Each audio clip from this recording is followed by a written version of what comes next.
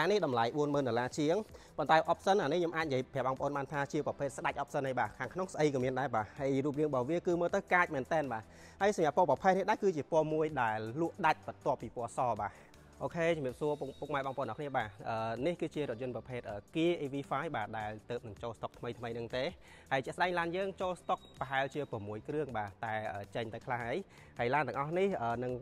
នឹងដាក់លក់នៅឃ្លាំងលក់រថយន្តរបស់របស់ខាងយើងខ្ញុំបាទហើយបងប្អូនអាចពិនិត្យមើលរូបរាងបានបាទសម្រាប់ប្រភេទ720នេះគឺមាន2 option ណាបងប្អូនបាទជាប្រភេទអឺ Wave option Wave option នេះគឺបងប្អូនអាចបើកបានដល់ទៅ720គីឡូបាទហើយជាប្រភេទ full ពេញទាំងអស់បាទសម្រាប់ Wave option នេះដែរជាទូទៅគឺមាន2បងប្អូនបាទគឺមានជាប្រភេទ standard option ហើយនិង option add បាទ option add ហ្នឹងគឺនៅពេលដែលយើង lock សោបាទនៅពេលដែលយើង lock សោអធិស្ឋានមកឡាននៅខាងនោះបាទនៅពេលដែលយើង lock សោគឺដៃ feel របស់វានឹង pop up auto បន្តិចបាទហើយចំណុចដែលខុសគ្នារវាង720ហើយនិង530បាទមួយគ្រឿងនេះគឺ530បងប្អូនអរគ្នាបាទអឺ ខាងមុខរបស់វាគឺពណ៌ប្រផេះបាទនេះពណ៌ប្រផេះហើយកន្លែងនេះគឺអត់មានភ្លើងទេបាទឯ720គឺមានបាទអានេះអាឡងអានេះអានោះក្រើមអានោះក្រើមអានេះគឺរលោងបាទហើយមានភ្លើង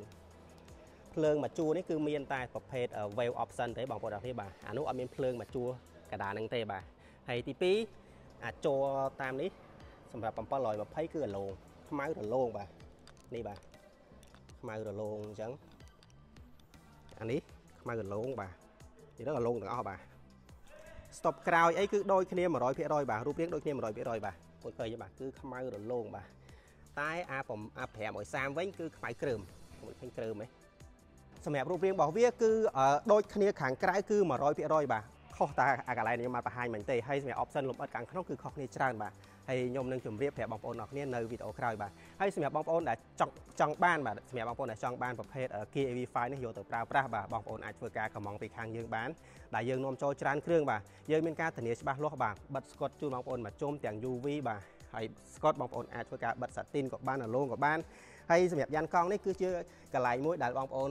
តែងតែបារម្ភដែរគាត់ខ្លាចថាអឺគាត់ស្មានថានេះជ័រតែនេះមិនមែនជ័រទេអានេះគឺសាច់យ៉ាន់បាទជ័រទៅខាងក្នុងនេះទេហើយសម្រាប់ sensor របស់វាបងប្អូនអរគ្នាបាទ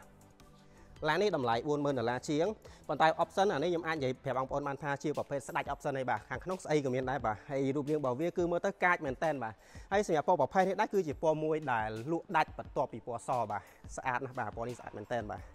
ខាងមុខ sensor 6គ្រាប់ខាងក្រៅ6គ្រាប់បាទ